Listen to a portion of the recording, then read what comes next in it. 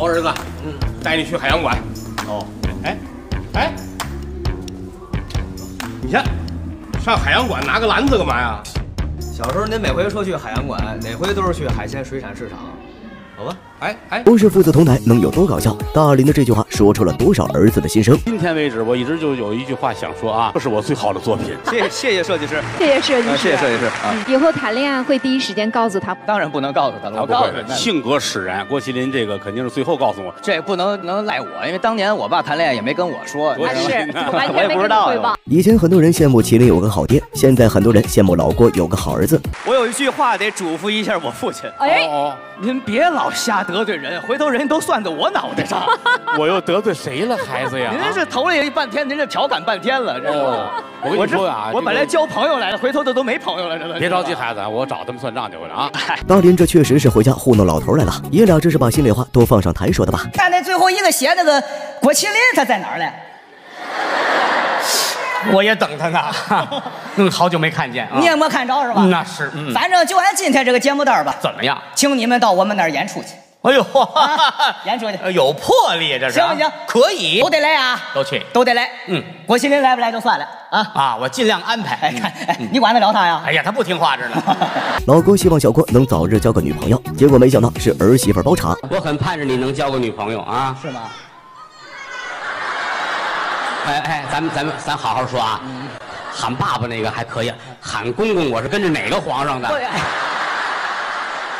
你不能因为看上我儿子，你把我喝出去了。谁谁谁谁喊公公的？晚上一会儿我我教育教育你。哎，于谦，要不你还是别回来了。好好的父子情深，怎么受伤的还是我？不容易看见我儿子啊！我现在很后悔那会儿让你出去拍戏，就拍戏一个戏就仨月俩月才回来。我让你在门口摆摊，天天能回来看你。就是，我现在一看你，哎呀，我儿子拍戏去了，我心里不是滋味儿。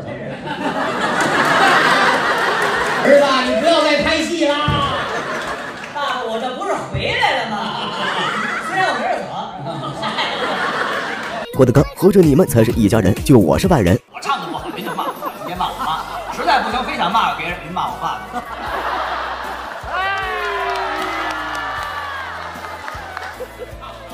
这个时候，于谦要是来认儿子，那绝对一人一个准，没有丝毫犹豫。这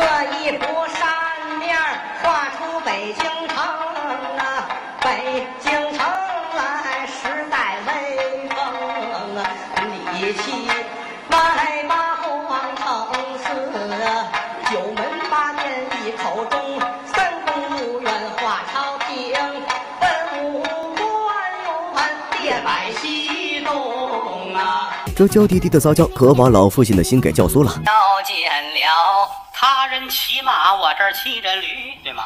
我唱，我唱了吗，爸爸？啊，来来来。跨年官宣继承人，那封箱少班主该继位了。希望这舞台能给我提供。你得多说相声，因为以后德云社是你的啊。大伙儿这么喜欢大林啊，你给他们演个什么小节目吗？我得，那我得唱一唱了。哎呦呵，随便来一个。嗯说天好家伙！儿子儿子，我唱完他们就不唱。过两天啊，这个德云社倒给你之后，你再唱。